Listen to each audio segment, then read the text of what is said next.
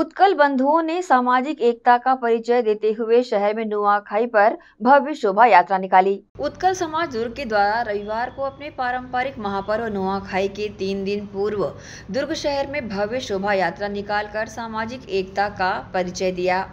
इसी कड़ी में शोभा यात्रा में दुर्ग शहर के कोने कोने से हज़ारों की संख्या में उत्कल समाज के लोग शामिल हुए।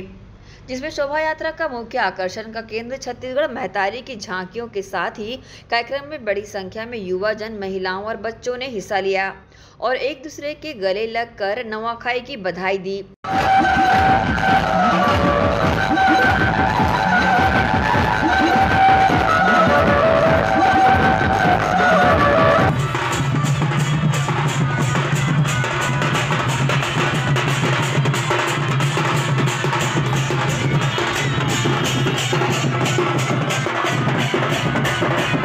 इस मौके पर उत्कल समाज दुर्ग शहर जिलाध्यक्ष ध्रुव कुमार सोनी ने कहा, नुआखाई हमारे पूर्वजों के द्वारा विरासत में दी गई एक पूंजी है, जो हम सबको जोड़ने का काम करती है। और आगे बढ़ाने की प्रेरणा भी देती है। इस मौके पर कार्यक्रम में शामिल होने पहुँचे दुर्ग विधायक अरुण वोरा, चतुर्भुज राठी ने नुआखाई की। सभी को बधाइयाँ दी, साथ ही इस मौके पर समाज के वरिष्ठ और अखिल भारतीय उड़िया समाज जिलाध्यक्ष नामदेव चक्रधारी, उत्कल क्रीड़ा मंडल संयोजक अभिषेक टंडन, अखिल भारतीय उड़िया समाज प्रदेश महामंत्री अर्जुन कुंभार सहित अन्य लोग बड़ी संख्या में शामिल रहे। उत्कल समाज का ये बहुत बड़ा पर्व है। और नवाखई शोभा यात्रा।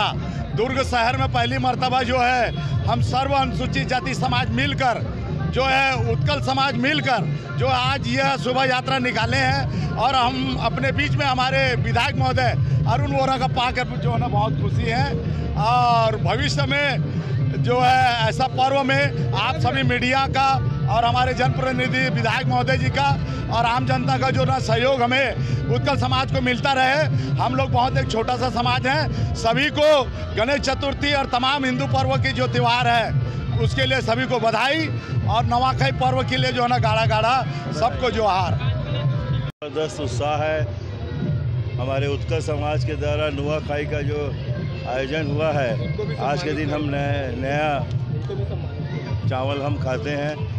भगवान जगन्नाथ स्वामी की कृपा हम सब के ऊपर हमेशा बनी रहे, यही प्रार्थना हम लोग करते हैं। सबका जीवन खुशहाल रहे, सब अपने जीवन में आगे बढ़े, तरक्की करते करते रहें। इसी भावना को लेकर आज हम पूरे शहर का भ्रमण उत्कल समाज के द्वारा कर रहे हैं। हमारे सभी समाज के प्रमुख लोग यहाँ हैं।